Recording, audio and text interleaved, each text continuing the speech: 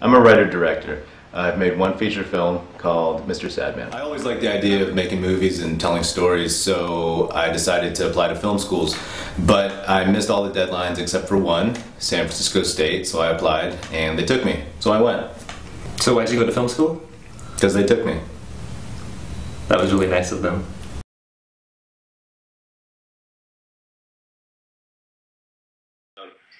Hey, I'm Patrick Epino. Um, I'm a writer, director, uh, new media guy I'm from uh, San Francisco, California. I was born and raised in the Bay Area, and my folks are from uh, like Quezon City and stuff like that.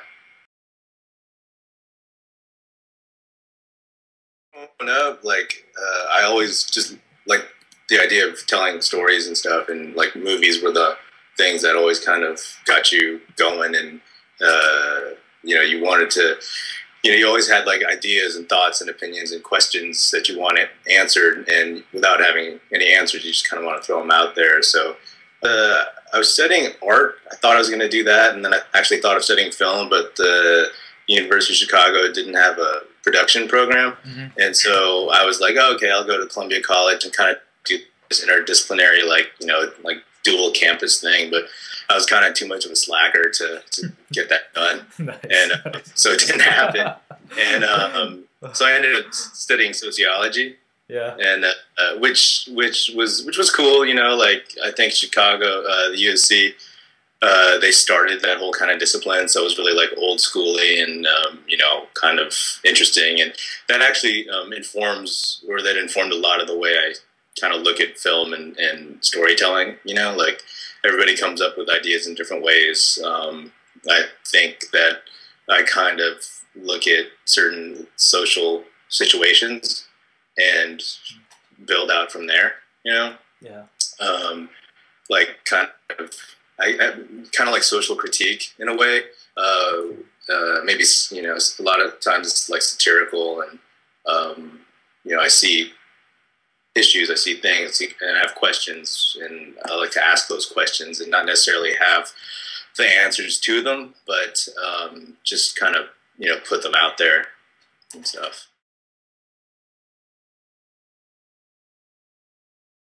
There was this movement from being like this major slacker in college to um, kind of having some kind of uh, drive and motivation in uh, in uh, my MFA program.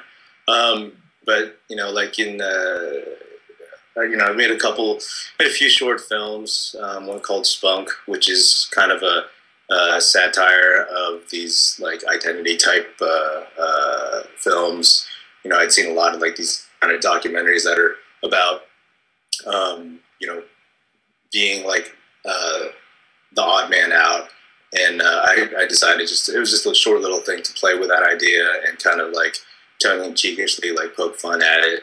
And then I made a short film called Void, which um, was kind of a uh, this again this kind of like just critique of um, the self help uh, movement or this like the way that uh, people try to fill their lives with stuff and things and um, it, it's about a guy who uh, is walking around, or he, you know, he's he's trying to uh, he's trying to find a little bit of happiness, and he doesn't know how to do it, so he listens to like a self help uh, uh, audio book or something, and he decides that the way to fill it up is to um, fill it up with stuff and color and things, and just a lot of like purchasing and consumerist type stuff, and uh, and then like the whole idea is that that's kind of the way it's this alienation, this the the way a lot of people, um, I think, are in the world today.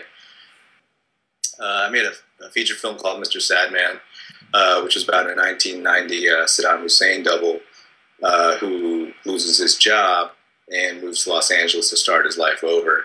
And that actually takes a lot of the similar themes from Void about it. Um, you know, the, the, question that I'm asking in that film is, uh, well, you know, the thing that really matters the most to you, like what really defines you.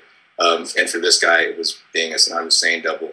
Uh, when that is taken away, and uh, what are you kind of left to hold on to? And he just, you know, in in today's world, he just kind of goes through these different iterations, trying to find like a sense of meaning and a sense of like belonging and sense of place.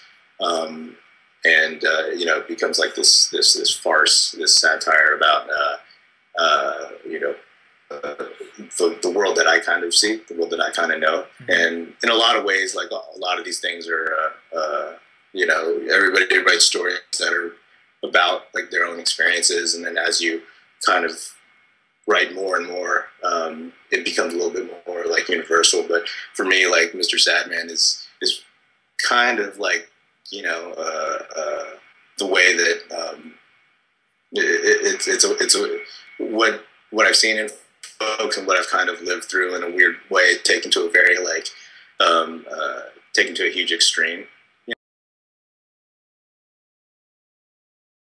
Met Steve. I've only known Steve for about a year and a half. Um, we met at a, a, the Asian American Film Festival in LA, like in 2010.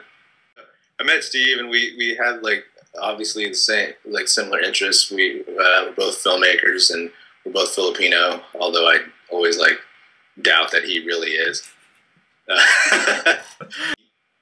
Maybe like in, in early summer, we met up and um, I had this one idea, and then he had an idea, and they were like, "Hey, let's just combine this idea," you know.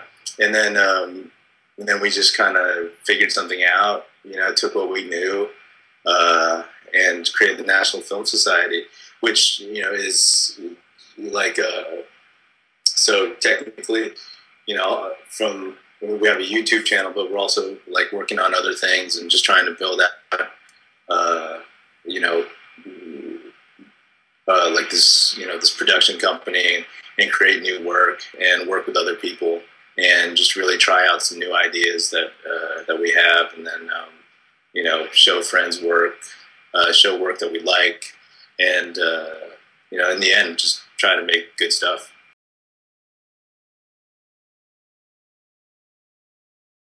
I, I, like change personally, and I like things getting like uh, shaken up. I think like uh, the whole idea of like conflict, obviously, with like uh, the traditional film and like new film and new media and stuff like that. I think all that stuff is really exciting. I think it's a fun time to kind of be around um, because we all kind of you know like at a certain chunk of people like all kind of grew up with the same like filmmaker like a mythology that you make a film and then blah blah blah and and it gets screened and you know you get to make a bunch of other movies. And that really didn't that barely existed before and now it really doesn't exist. But there's just a lot of ways to kind of create good stuff. These kids that are growing up with like with youtube already yeah. um, as a thing that existed when they were like socializing into the media world it's it's it's like one of their main things you know? So um, absolutely, I think it's uh, a lot of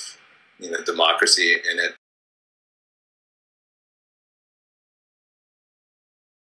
Um, you know, know know what's out there, and then like just kind of get get a grasp of all the tools. There's so many things and so many ways you can do things, um, and I think like younger folks have a better grasp of that than people who came up um, like uh, 10, 20 years ago in terms of film, because I think what you know what I've run into is that a lot of filmmakers are not only hesitant, but they're just somewhat like kind of detached from technology, mm-hmm. and some of them like embrace that defiantly, um, which which is fine. But like sometimes that doesn't that you know if you don't have like all these other people pushing stuff for you, then it's it can be a negative. So I think you know being being aware and, and uh, of all the of all the tools at your disposal uh, anything from production to post to um, to distribution and you know like you know there's we all live in screens you know what i mean of different sizes and just know how to um, use those as a uh, as a to your advantage you know as tools so and there's always like you know, and, and, there's always somebody to listen to. You know, there's there's a ton of stories to tell out there. You know, and just know the ones that have been told and tell new ones or tell the old ones better.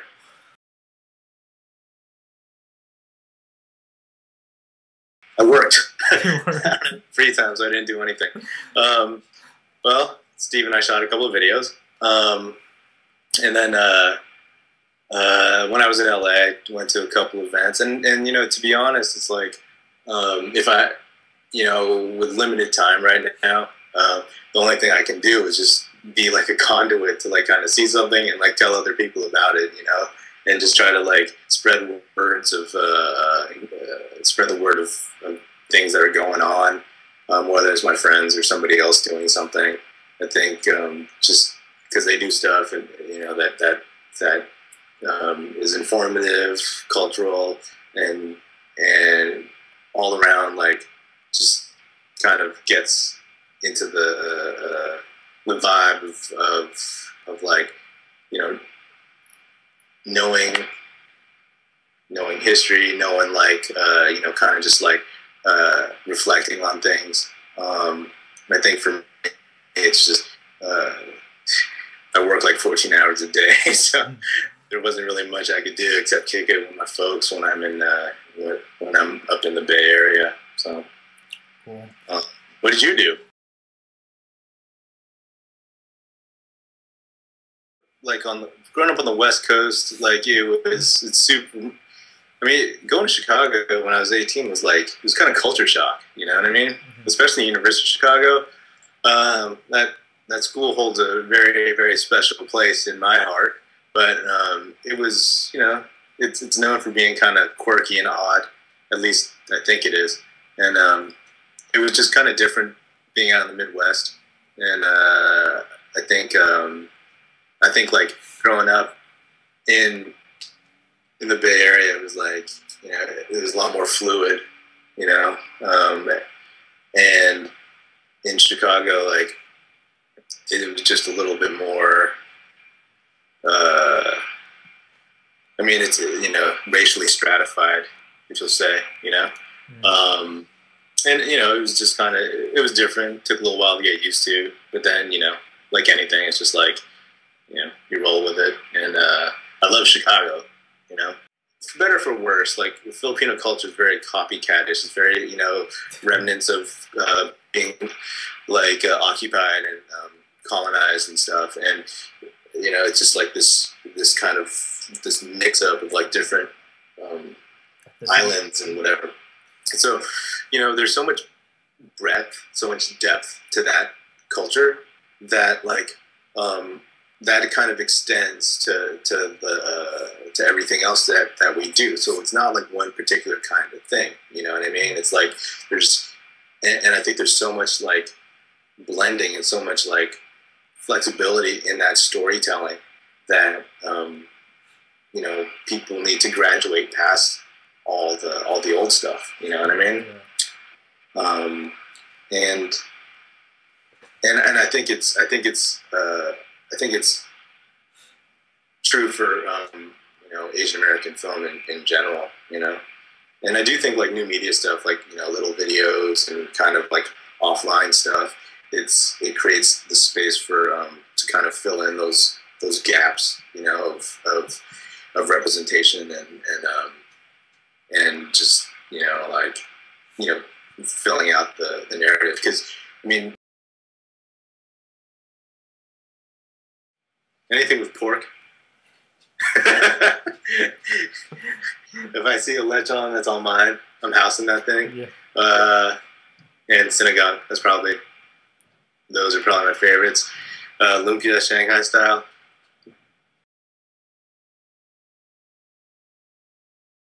Yeah, just working on the National Film Society, um, which is fun, and we're looking to like you know, kind of slowly but surely kind of do different stuff and grow a little bit, and just work with other folks um, down the road. I'm hoping next year I get to shoot another feature, um, and uh, you know I'll keep my fingers crossed and um, sending out my first feature, Mr. Sadman, to um, a distributor. You know, you check us out at the on the YouTube channel, youtube.com slash National Film Society, and you can check me out at uh, patrickepino.com or, you know, follow me on Twitter, which is just Patrick Epino. So.